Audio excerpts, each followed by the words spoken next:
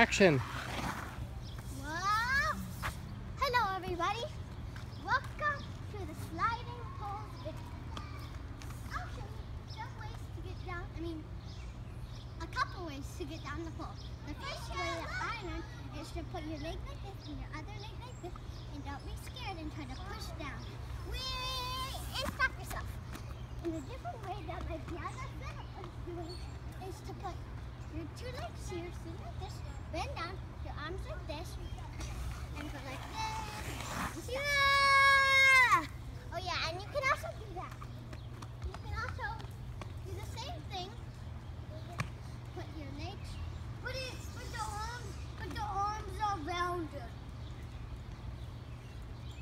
Tisha, come here please. One, two, three, go! Have lots of fun sliding down poles in the old Morse playground. Thank, Thank you you for sliding down the pole to the video. Thank you.